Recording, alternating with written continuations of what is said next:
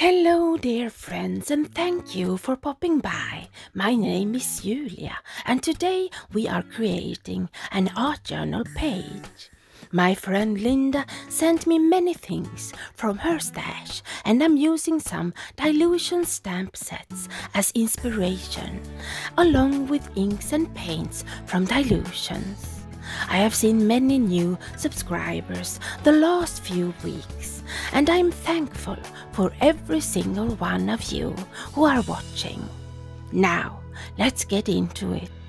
I'm stamping some flowers and a girl's head and feet in archival black soot, and I stamp a couple of times to get a good impression on watercolor paper and off camera I will stamp lots of those flowers to give me options.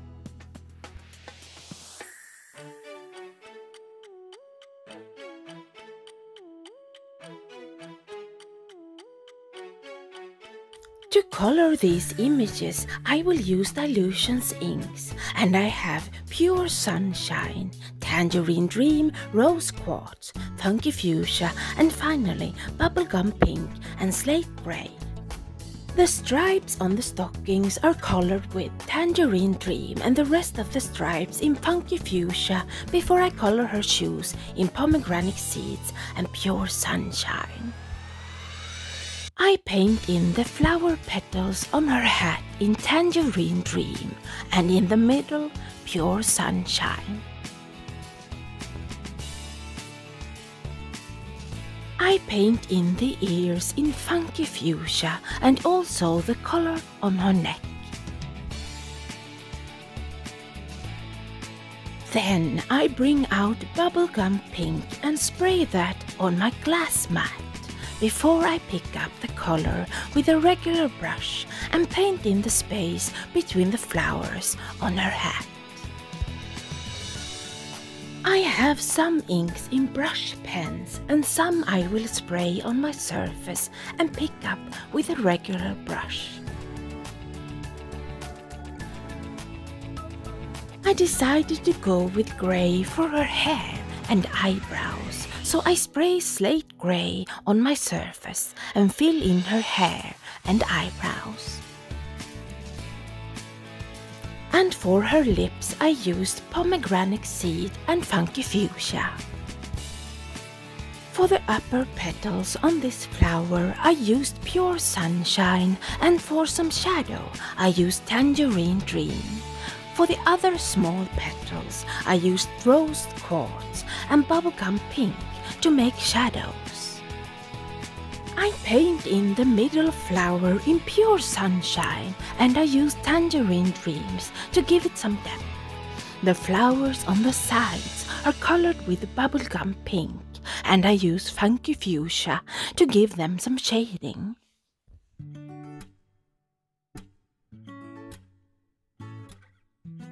Next up is the polka dot flower and I paint in the inner petals with bubblegum pink and I use funky fuchsia to add a little shading.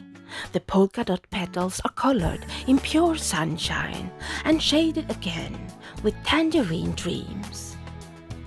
I just love how these inks blend and make it easy to add shade and then blend it out with a lighter color. For this star flower, I use the same colors, the lighter first, and then I add a little shading on one side of each stripe.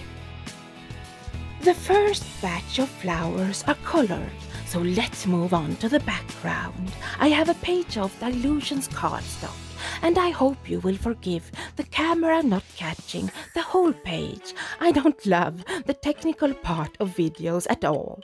I spray with water and I will use inks in black marble, slate grey and bubblegum pink. I spray my inks and let the water and inks move by moving my paper until I'm happy. Then I fill in with more ink and let it move and drip. While my background is drying, I move on to the flowers, but this time I will color them in slate grey and black marble to match the darker side of this page. I color the flowers in slate gray and use black marble to create shadow. And since these inks are translucent, you will still see the beautiful patterns and details. I spray my inks on my surface and use a cheap watercolor brush to color. And while I color, I want to thank you all again for watching, both old and new friends. I hope you all feel welcome, and if you have the time, I would love if you wrote a comment telling me who you are and what you would like to see in the future.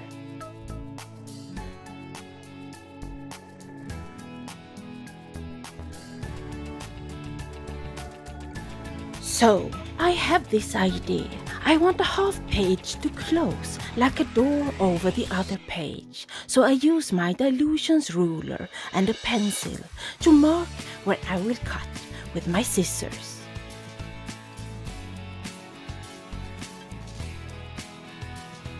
This half page with that beautiful curved edge is just how I want it. But I need color and this time you can see the whole page when I spray. I spray with water and I'm using Dylusions ink in Pure Sunshine, Tangerine Dreams and Bubblegum Pink. And I tilt the paper to make the colors move and drip. I do the same for the other side of my door, but I use slate grey, black marble and a tad of Tangerine Dreams to keep everything matching. If you can believe it, I need to color more flowers and this time to add interest I use shimmer paint in bubblegum pink along with my brushes with ink. I add water to make the shimmer paint more translucent and use funky fuchsia to add shading to the shimmer paint.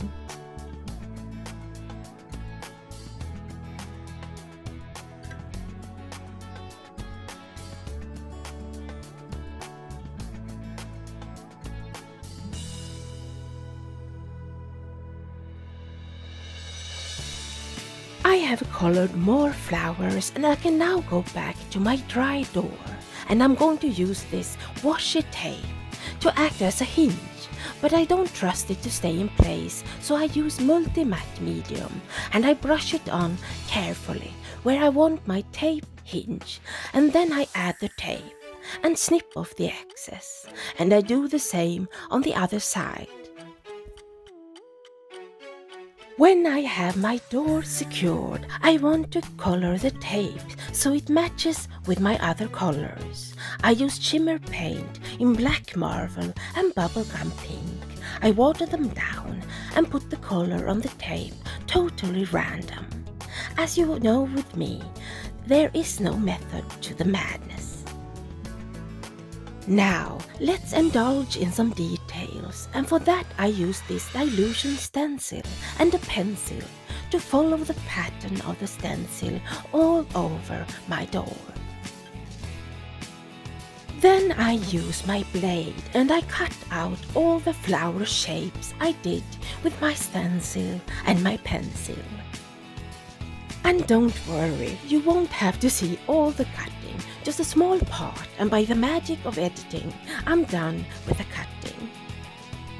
My door is beautiful as it is, but I cannot help myself, and I bring out my black Posca pen and trace around the floral pattern. And I am not neat or careful, I just trace, and if I do a mistake, I just don't care at all. When I have traced the pattern on one side, I pull out my white gel pen and trace the pattern again on the other side. And I am neither careful or neat. I am on a roll and I bring out more stencils and shimmer paint in black marble and bubblegum pink. Both stencils are from Dylusions and I start with the drop stencil and black marble shimmer paint and I stencil in drops randomly, but only over the black and grey. And while I have the black shimmer paint out, I use it to go around the edges of the whole project to bring everything together. Then I use a skull stencil, a favorite of mine, and stencil bubblegum pink shimmer paint through the skull stencil, but only on the pink in the background. We are getting closer to finish this project and here are all the flowers I painted in both pink, orange and yellow and the grey and black flowers.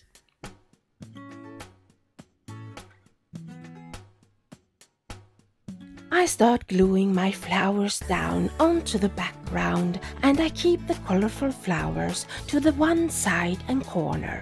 I fill up the corner and let the flowers climb up the side.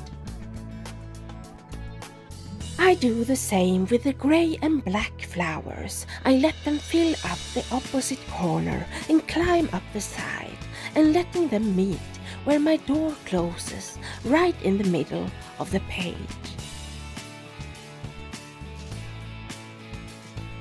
I put one of my pink leaves on the edge of the door and put a black leaf on the other side. They don't match perfectly, but I use more paint and ink to color in the back side of the leaves, so I have the leaves on both sides hanging off the edge. And I do the same with a flower of both colors next to the leaves, so I have a cluster hanging off my door.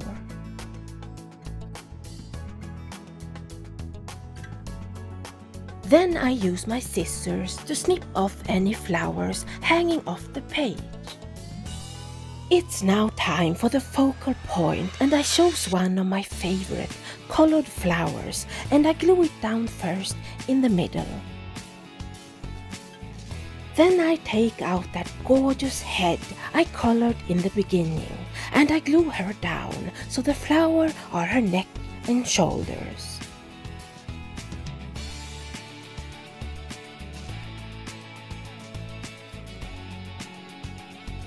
Then I take another flower with polka dots and flip it to be the lower part of her body and at the same time I glue down those legs so they come out from that flower skirt.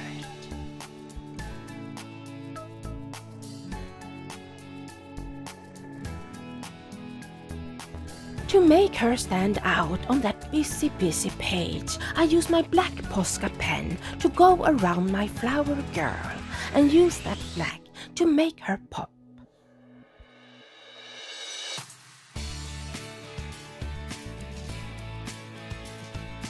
I add a few more flowers and snip off the excess and now it's time for me to start working on a sentiment.